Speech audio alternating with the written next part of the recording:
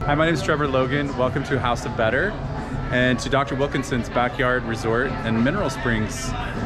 Today we're hosting our grand opening for the locals here in Calistoga and we're serving up some pie and some wine and I can tell you a little bit about the type of pie that we're serving today.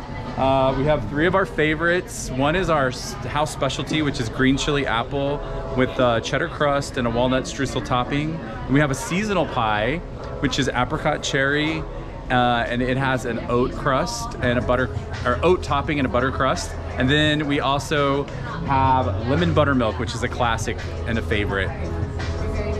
Oh, uh, well, we're coming to watch the pie eating contest, explore the new property and the new rooms and the spa, and uh, and welcome Brandy to this dog-friendly property at Dr. Wilkinson's Backyard Resort and Mineral Springs. So everybody, the pie eating contest is this way. So come on over and. Uh, Start in five, four, three, two, one. Eat pie. Let's go. Oh, and here they go, and they're off to a good start. And lots of cream on the nose, and Pune's hair is falling in the pie. And the man, no, no, put the Keep You on, can do it. guys. You're You doing do well. Take a breath. Don't forget to breathe. Keep on going. And Pune's doing really well. She's got more cream than she has pie. But off we go. Oh, interesting concept. Licking the pie. Licking the pie. Interesting. Over here, he's going from the outside in. Here at the end, he's falling asleep in his pie. What on earth is going on? Here we go. Ten, nine,